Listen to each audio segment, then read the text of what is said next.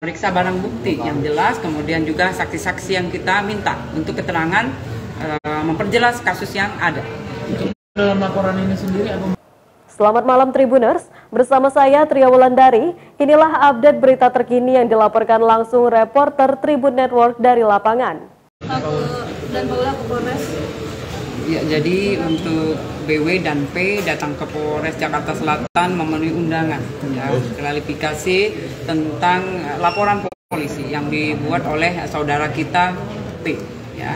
Kemudian dari itu penyidik juga meminta keterangan uh, tentang apa yang dilaporkan oleh korban itu. Oke, kalau boleh tahu tadi nanti sempat menyatakan uh, bilang itu berapa pertanyaan? Ya, pertanyaan yang diajukan ada 30 rata mm -hmm. ya. Jadi satu uh, dengan BW kemudian juga uh, satu dengan dengan P. Jadi dua-duanya uh, datang kemudian uh, diminta keterangan oleh penyidik. Untuk P, P itu mungkin boleh dijelaskan ini berbeda dari sahabat polisi kan ya? Iya, berbeda, beda. Jadi ini uh, laporan yang ketiga.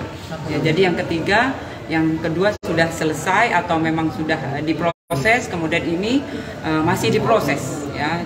Setelah laporan polisi di, uh, dibuat kemudian kita sesuai dengan SOP proses di, dilaksanakan uh, memeriksa barang bukti yang jelas kemudian juga saksi-saksi yang kita minta untuk keterangan uh, memperjelas kasus yang ada.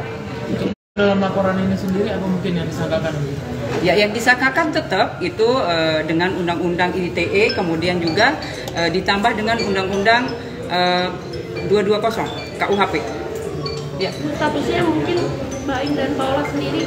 Ya, untuk sementara ini jadi saksi terlapor, masih saksi terlapor. Untuk laporan yang lainnya ke Mbak itu gimana prosesnya? Ya, yang lain masih uh, berproses karena memang belum keluar untuk surat perintah pemberhentian penyidikan. Ini kasus uh, yang prem polisi ya, Pak? Iya, betul, sama. Okay. Jadi ketiga uh, kas, uh, laporan yang dibuat di Polres Jakarta Selatan masih berproses. Ya. Oh, sebelum ada pencabutan?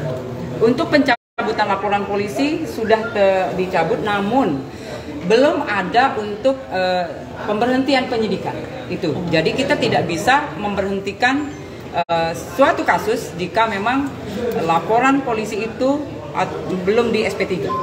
Berarti Berarti untuk dua laporan lainnya itu masih penyidikan nanti walaupun sudah dicabut. Iya, ya, betul. Apa yang menyebabkan mungkin surat perintahnya Ya, jadi itu kita uh, diproses oleh penyidik. Ya, jadi itu semua harus ada uh, syarat-syaratnya.